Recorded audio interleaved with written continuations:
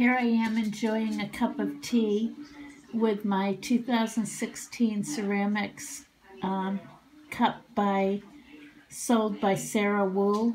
Um, I got it on Amazon.com. Um, this is an art pottery bone china luxury designer cup. Um, it's made in China. Um, I think it's really pretty. You can see it's, you know, really nice china. Very light to the touch. Keeps a tea nice and warm.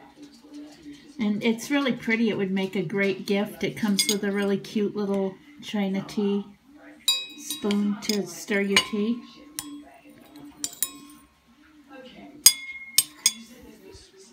Fine quality china at an affordable price.